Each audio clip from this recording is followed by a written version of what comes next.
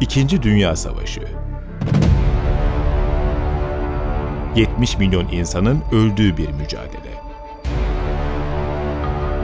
Tüm dünyayı etkileyen koca bir kasırga.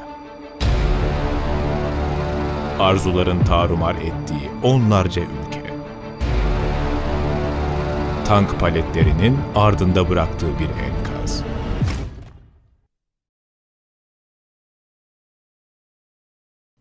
Pek çok olayın dünya tarihine yön vermesi açısından büyük bir öneme sahip olduğu su götürmez bir gerçektir. Fakat Polonya'nın Almanya tarafından işgali, insanlığın en kanlı savaşı olan İkinci Dünya Harbi'nin başlangıcı olması sebebiyle diğerlerinden ayrılır. Bu videomuzda sizlere Polonya'nın işgalini anlatmadan önce dünya tarihini etkileyen 200 tarihi olay hakkında dakikalar içinde bilgi sahibi olabilmeniz için bir kitap setinden bahsetmek istiyoruz. Kronik kitaptan çıkan Dakikalar içinde Dünya Tarihi kitabı sizleri ilk uygarlıklardan Orta Çağ, devrimler çağından 21. yüzyıla uzanan bir yolculuğa çıkarıyor. Görseller eşliğinde açıklanan tarihin dönüm noktaları hakkında bilgi edinmek isteyen herkese bu giriş niteliğindeki kitabı tavsiye ederiz. Aynı zamanda setin dakikalar içinde mitoloji, psikoloji, ekonomi ve felsefe şeklinde toplam 5 kitabı daha bulunmakta. Kütüphanenizde yerini alması için can atacağınız bu seriyi pek çok kitap satış mağazasından ve online kitap satış noktasından anında temin edebilirsiniz. İçinde bulunduğumuz ekonomik şartlardan dolayı kitap edinip okumanın bile maalesef lükse kaçtığı dönemlerde dakikalar içinde serisi fiyatının uygunluğu açısından da tercih edinilebilecek seviyede. Ayrıca Kronik Kitap, DFT Tarih İşbirliği ile 5 abonemize 5 kitaptan oluşan bu seriyi hediye ediyoruz. Çekilişe katılmak için yapmanız gerekenler DFT Tarih YouTube kanalını takip edip yorumunuzun herhangi bir yerine hashtag kronik yazmak. Dakikalar içinde serisinin eserlerini tüm kitap satış noktalarından edinebileceğinizi hatırlatıp Polonya'nın işgaline geçiyoruz. Taviz, tavizi doğurur. Büyük savaş sonrası Avrupa'da totaliter ve faşist rejimler giderek popülerleşti. Böyle bir ortamda Almanya'nın başına geçen Hitler, ülkesinin Birinci Dünya Savaşı'nda uğradığı ağır kayıpları telafi etmek için çok çabaladı. Bozulan düzeni yeniden tesis etti ve güçlendi. Ülke sınırları dışında yaşayan Alman azınlıkların Almanya'nın hakimiyetinde birleştirilmesi ve yeni toprakların kolonizasyonu ile beraber Alman popülasyonunun bu topraklara yerleştirilmesi politikasını kendisine hedef olarak belirledi. Yaşam alanı yani Lebensraum fikri onu saldırgan bir dış politikaya sürükledi. O, ülkesinin ve halkının yeniden kalkınması için bu politikayı vazgeçilmez olarak görmekteydi. Adolf Hitler ülkesini kalkındırırken bir dünya savaşı çıkarmak niyetinde değildi. Zaten Birinci Dünya Savaşı'nda yaşananlar hem halkın hem de ordunun hafızasında daha çok tazeydi. Buna rağmen Adolf, uluslararası arenada tepki çekecek işler yapmaktan geri durmadı. 1936'da Rhineland'ın askerden arındırılmış bölgesini ele geçirdi, İspanya İç Savaşı'na birlik yolladı, 1938'de Avusturya'yı ilhak etti ve Südetler bölgesi için Çekoslovakya'ya baskı yapıp istediğini aldı. Hitler'in bu kansız ve kolay başarıları onu giderek daha da talepkar bir hale büründürdü. Almanya önüne gelen her şeyi yutan bir canavara dönüşürken, İngilizler ve Fransızlar Hitler'i durdurmak yerine ya sorunlardan kaçtılar ya da sorunları öteleyerek rafa kaldırdılar. Uyguladıkları yatıştırma politikasıyla Almanlara karşı tavizkar davrandılar. Hatta Almanların doğuya, Sovyet Rusya'ya doğru yayılmasına tabiri caizse göz yumdular. Kendisine verilen tavizlerden cesaret alan Almanlar, Çekoslovakya'yı parçalamak ve tamamını işgal etmek için kolları sıvadılar. Bu girişim üzerine Sovyet Rusya, Çeklerin toprak bütünlüğünü garanti etmek adına Birleşik Krallık'la ortak hareket etmek istese de İngiliz hükümeti buna yanaşmadı. Birleşik Krallık Başbakanı Neville Chamberlain'in basireti tamamen bağlanmış, olacakları göremiyordu. Ona göre yatıştırma siyaseti gayet başarılı gidiyor ve dünya barış açısından altın çağına giriyordu. Politikalarıyla Hitler'in yükselişini durdurmak yerine onun palazlanmasını sağlayan başbakan, Almanların ekonomik olarak dar boğazda olmasına güvenerek Hitler'i kontrol edebileceği bir kukla olarak görüyordu. Fakat büyük bir yanılgı içinde olduğunu kısa süre sonra anlayacaktı. 12 Mart 1939'da Almanların kışkırttığı Slovakya, Çekoslovakya'dan ayrılarak bağımsızlığını ilan etti. Ardından Alman ordusu Wehrmacht 15 Mart'ta Praga girerek Bohemya'yı boyunduruğu altına aldı. Bir oldu bittiyle emeline ulaşan Hitler vakit kaybetmeden Polonya'ya odaklandı. En başta lehler ile yakınlık kurmuş olan Almanlar sonraki süreçte Polonyalılardan Danzig limanını ve Doğu Prusya'ya serbest geçiş hakkı istediler. Polonya hükümeti teklifi reddedip direnmeye niyetliydi. Polonyalılar ordularına ve özellikle süvarilerine çok güveniyorlardı. Ayrıca kısa süre sonra İngilizlerin işe doğrudan karışması onların bu güvenini birkaç misline çıkardı. Almanların Praga girmesiyle İngilizler şoka uğradılar. Böyle bir şey beklemiyorlardı. Diğer bir taraftan Çeklerin düşüşü, Chamberlain'i gördüğü o toz pembe rüyadan bir anda uyandırdı. Chamberlain hükümeti derhal uyguladığı politikadan ani ve sert bir dönüş yaptı. Bundan sonra İngilizler Hitler'in her hareketini durdurma kararı aldılar. Bu bağlamda ilk olarak 29 Mart'ta Polonya'nın toprak bütünlüğünü koruyacaklarını tüm kamuoyuna bildirdiler. Şimdiye dek her istediği yapıldığı için arsız bir çocuğa dönüşen Hitler'in yeni oyuncağına el konulmak istenmesine karşı vereceği tepki an itibariyle çok önemliydi. Adolf Hitler diplomasi yoluyla uzlaşma mı arayacaktı yoksa savaş boyalarını sürüp ordusunu muharebe meydanlarına mı indirecekti? Birleşik Krallığın ve Fransa'nın Polonya'yı bulundukları konumdan koruyabilmeleri zordu. Bu yüzden coğrafi olarak daha uygun konumda olan Ruslara ihtiyaçları vardı. İngilizler gücüne güvenmeseler ve fazlasıyla nefret etseler de Stalin'le temasa geçtiler. Bu temas Batı Avrupalıların isteksizliği yüzünden bir türlü sonuca bağlanamadı.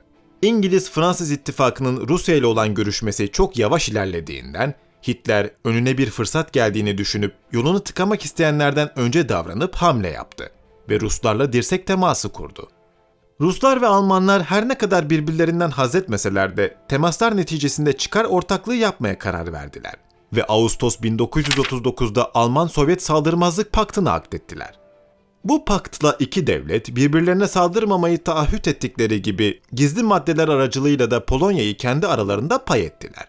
Chamberlain'in ani politika değişikliğini savaşa giden yoldaki ilk dönüm noktası sayacak olursak, Alman-Sovyet saldırmazlık paktı yine aynı yoldaki ikinci büyük dönüm noktasını teşkil etmiş oldu. Stalin bu paktla iki şeyi amaçlamıştı. İlki Polonya'nın kendisine kalan kısmı üzerinden Baltık ülkelerinde ve Besarabya'da nüfus edinebilme imkanıydı. İkinci ve daha önemlisi Almanların saldırganlığını doğudan batıya kanalize etme fırsatıydı. Paktın diğer imzacısı Hitler ise İngilizlerin lehler için savaşa gireceğini düşünmüyordu.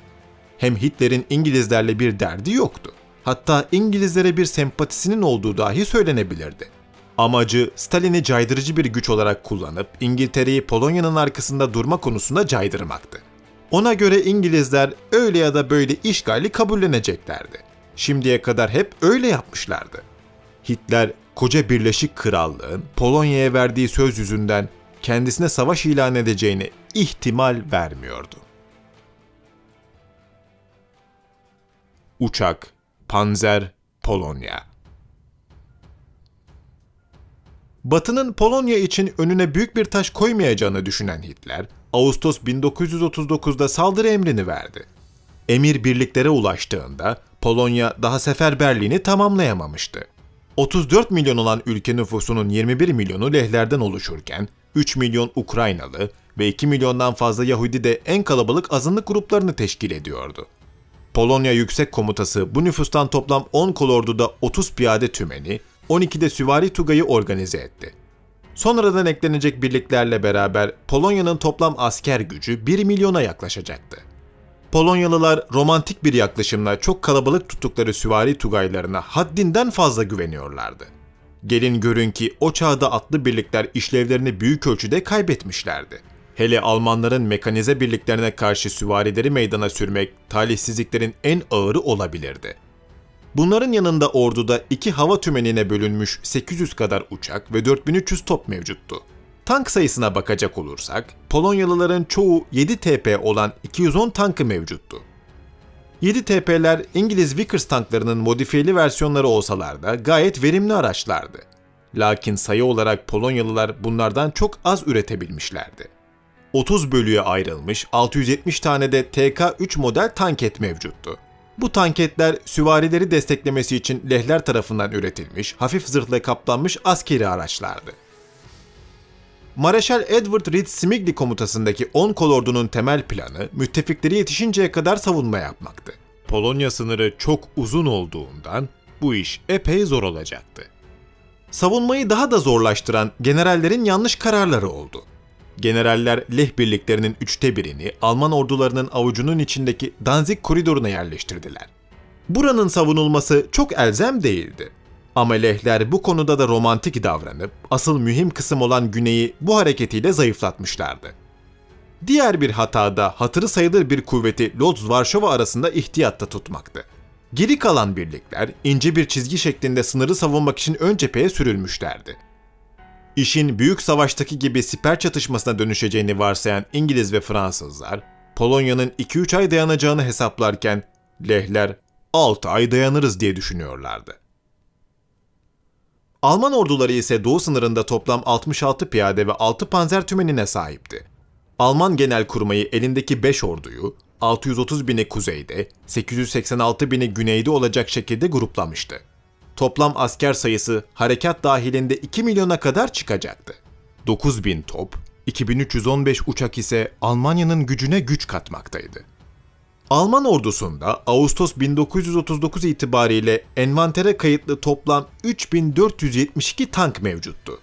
Bunların 2668 tanesi Panzer 1 ve Panzer 2 model araçlardı. Genelkurmay bu cephede eldeki tankların 2750 kadarını kullanmayı uygun görmüştü. Alman Genelkurmay Başkanı Franz Halder'in hazırladığı plan şu şekildeydi. Öncelikle Alman hava kuvveti olan Luftwaffe, kara saldırılarından önce havalanıp düşmanın ulaşım ve ikmal hatlarını felç edecekti. Ardından asıl saldırı Rundstedt emrindeki Güney Ordular Grubu tarafından icra edilecekti. 8. Ordu Lodz'a ilerleyecek, 14. Ordu Krakow üzerinden Polonya'nın Karpatya tarafını saracak, 10. Ordu da zırhlıların desteğiyle Polonya'nın merkezine akacaktı. Güneyde yer alan Slovaklar ise kendi sınırlarından ilerleyip harekatı destekleyeceklerdi. Kuzey Ordular grubuna dahil 3. Ordu Doğu Prusya'dan güneye, 4. Alman ordusu da Danzig koridoruna saldıracaktı. Rakiplerini silip süpüren ordular, son aşamada Varşova'da birleşip Vistun Nehri batısında düşman ordusunu paketleyecekti. Alman piyadelerinin daha tam mekanize olmamasından dolayı Alman Yüksek Komutası askerleri tank ve topların desteklediği klasik piyade saldırılarıyla savaştırmak istese de, başta Heinz Guderian olmak üzere bazı generaller Blitzkrieg doktrinini savaş alanlarında ilk kez uygulamak için can atıyorlardı. Blitzkrieg yani Yıldırım Harekatı, zırhlı kuvvetlerle bir yarma eylemi yapıp düşman hattının gerisine olabildiğince sarkma üzerine kuruluydu hattın arkasındaki ana yollar ve lojistik hatlar kesilir, böylece düşman yardım alamayacak bir konuma sokulur ve arkadan gelen piyadelerin işi kolaylaştırılırdı.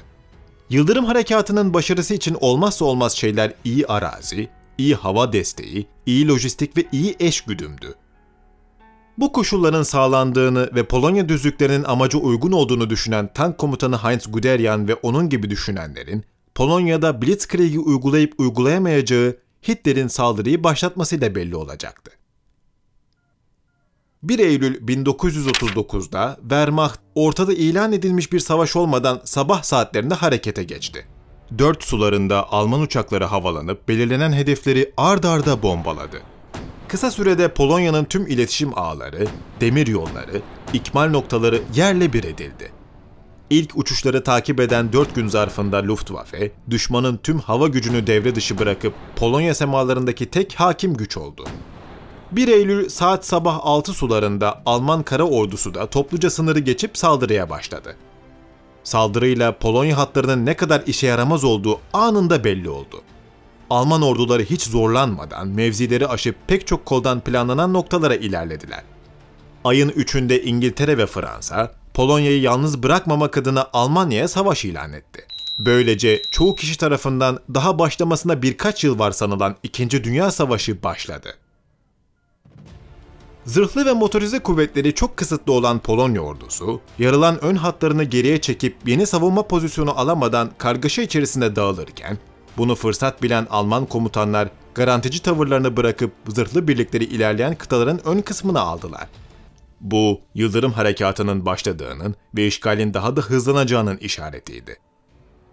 Yıldırım Harekatı doktrini uyarınca hava desteğiyle önden ilerleyen Alman panzerleri, kendilerine verilen görevleri başarıyla tamamlarken Polonya birlikleri ya savaş dışı kalmışlar ya da parçalara bölünerek çekilmeye zorlanmışlardı. Lehler bir haftada Pomeranya'yı, ana Polonya topraklarını ve Polonya yukarı Silesyasını terk ettiler. 8 Eylül'de panzer birliklerinden bazıları Varşova önlerine dek sokuldu. 10. Ordu'nun sağındaki hafif zırhlı birlikler 9 Eylül'de Sandomierz-Varşova çizgisindeki Vistula nehrindeyken 14. Ordu güneyde San nehrini geçiyordu. Aynı vakitlerde Guderian'ın tankları Narev nehrini geçerek Bug nehri üzerinden Varşova'yı çembere almaya çalışıyordu.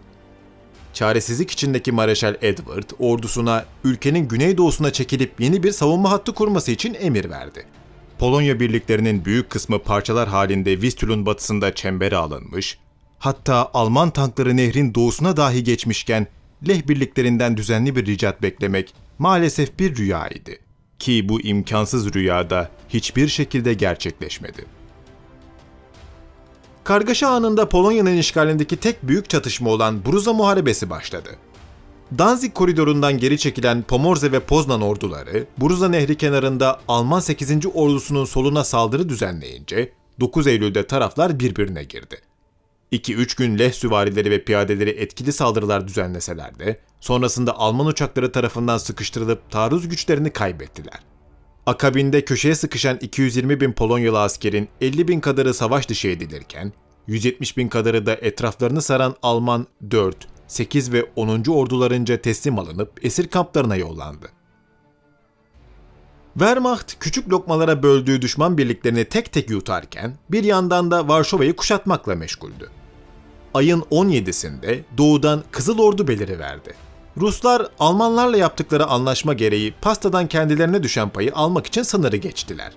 Polonya'nın doğuya yollayabilecek hiç kuvveti olmadığı için Ruslar, Almanlarla tokalaşmak için ellerini kollarını sallayarak batıya geldiler. Ertesi gün Polonya üst komutası ve hükümeti Romanya'ya kaçtı. Buna rağmen Polonyalılar Varşova'yı savunmakta kararlı davrandılar. Bu kararlılık üstün Alman güçleri karşısında pek de işe yaramadı. Varşova, şiddetli hava ve kara taarruzlarının ardından 28 Eylül'de düştü. Arta kalan ufak birliklerin teslimi Ekim başına kadar uzasa da, Rus ve Almanların Doğu Prusya'dan güneye uzanan hatta buluşmasıyla Polonya'nın işgali, İngiliz ve Fransızların bakışları arasında tamamlandı. Geri kalmış bir Doğu Avrupa ordusunun üstün Alman uçaklarına ve Blitzkrieg'e birkaç hafta içinde utanç verici bir şekilde yenilmesi, dünya tarihinde bir dönüm noktası teşkil ederek Polonya yıllarca sürecek bir Nazi ve SS dehşetinin içine atarken, tüm dünyayı da İkinci Dünya Savaşı gerçeğiyle baş başa bırakmış oldu. Adolf Hitler'in Polonya sonrasındaki hedefi olan Fransa ile mücadelesini izlemek için sağ üstte çıkan karta tıklayabilir, bu tarz videoların devamı için kanala abone olabilirsiniz. Ayrıca kronik kitaptan çıkan dakikalar içinde kitap serisiyle ilgili detaylar için de açıklamalar kısmına bakabilirsiniz. Görüşmek dileğiyle, iyi günler.